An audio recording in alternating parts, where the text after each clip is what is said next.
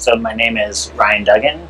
I'm currently the technical director of the flow cytometry facility at the University of Chicago. You know, quite frankly, I work in a busy core lab and I don't have time dedicated to sitting on an instrument and watching dots pass through the, the cytometer.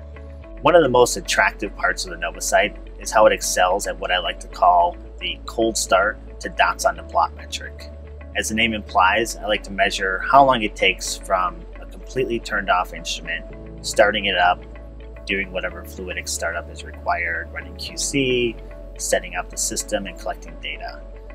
On many instruments, this can take 20 or 30 minutes, but on the NovoCyte, there is a hardware button that actually turns the instrument on and does the fluidic startup for you, all without having to even launch the software or even turn on the computer. Another unique feature of the NovoCyte software is that it runs basically in two modes. There's the live acquisition mode and then the data analysis mode. And you can actually switch back and forth between them while you're running your samples.